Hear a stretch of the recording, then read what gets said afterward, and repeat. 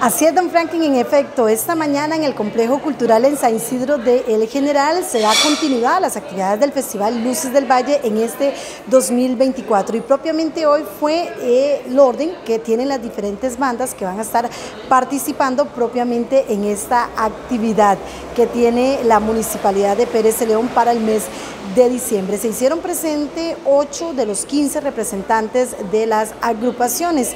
Luego de esta selección se hará ya la lista completa con la participación. En el caso de las bandas, acá este, les damos a conocer el orden tras la rifa que se hizo. Escuela de eh, entonces estaría la banda municipal de Acerrí, eh, el 3 banda municipal de Acosta, eh, número 4 banda colegio técnico profesional de San Isidro, el número 5 sería el grupo de bailerenses, 6 Liceo de San Pedro, 7 banda Ángel María Herrera de Penonomé, 8 comparsa La Tenzón, 9 banda comunal de Palma Norte, número 10 la banda independiente Arcángel Miguel, 11 la banda del Colegio Diocesano Padre Eladio Sancho,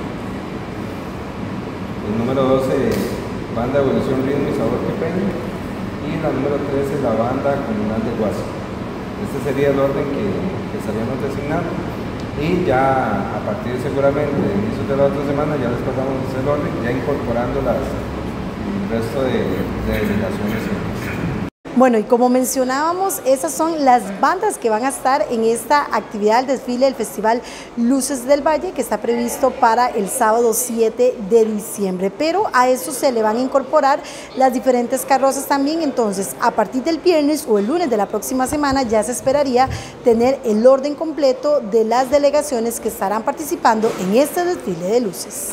Eh, de lo que corresponde al Festival Luces del Valle, en este caso específico, lo que eh, lo que conlleva el desfile y el orden de las eh, participaciones. Sí, efectivamente a partir del año pasado tomamos la decisión de rifar los, eh, los espacios o el orden de las delegaciones. Hoy convocamos a lo que fueron bandas, tanto locales como invitadas que van a estar acompañándonos este año. Entonces a partir de, de que tengamos el orden de las eh, respectivas bandas. Eh, ahí ya tomamos la decisión de definir ya el orden del desfile, sumando las carrozas y los pasacalles que también ah, formarán parte de, del evento como tal. ¿Cuántas bandas son en total? Son 15 bandas, eh, son las que tenemos, son 9 externas, 6 locales, entonces son las que formarán parte hoy de, de lo que es la, la rifa. Me decía usted que hoy propiamente no va a quedar el orden establecido, ¿por qué Pablo? No, es precisamente, Carmen, bueno, dentro de, la logística que nosotros llevamos en, dentro de, eh, del orden del desfile, eh, sí es importante indicar que nosotros utilizamos, además del espectáculo que obviamente brindan, lo que son los, eh, los pasacalles, los utilizamos como separadores de bandas. Entonces normalmente va una banda, una carroza, otra banda, un pasacalles y así sucesivamente. lo que pasa es que hay algunas bandas que llevan carroza. Entonces, si nosotros eh, fijamos el desfile hoy, eh, te pongo un ejemplo con el colegio técnico. El colegio técnico lleva una carroza.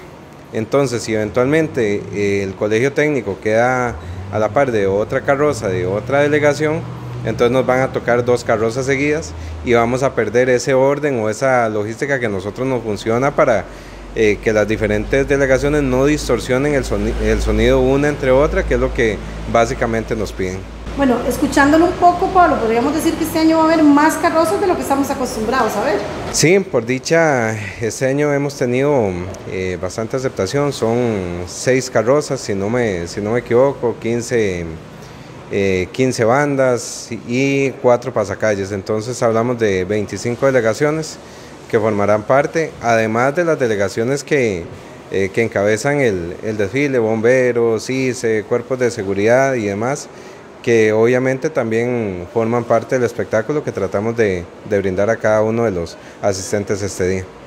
Y bueno, detalles importantes para que usted lo tenga muy en cuenta de la actividad, del desfile propiamente, también de esto nos habla el coordinador de la comisión. Sí, el desfile mantenemos la, eh, la ruta habitual, la que hemos seguido eh, años anteriores, que nos ha dado buenos resultados en diferentes, eh, desde diferentes puntos de vista.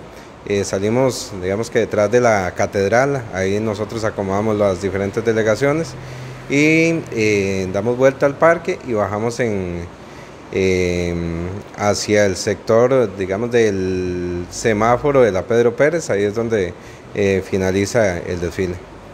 ¿Más o menos a qué horas esperan que concluya? Sí, a las, bueno, iniciamos a las cinco y media, siempre con, las, con algunas delegaciones, algunos pasacalles que, eh, que dan ahí algún, algún espectáculo importante en ese, en ese sentido y las delegaciones de seguridad.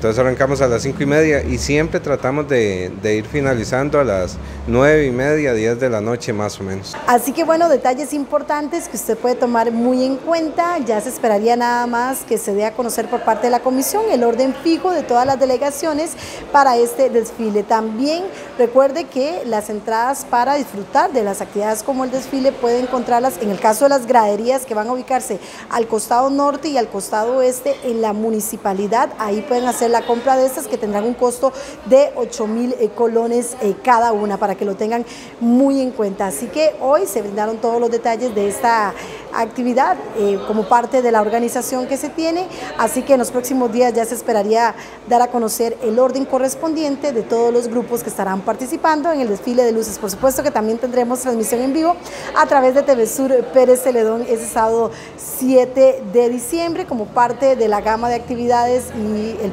que se tiene en este 2024 en el Festival Luces del Valle. Así que seguimos dando cobertura a este tipo de noticias. Carmen Picado Navarro les informa.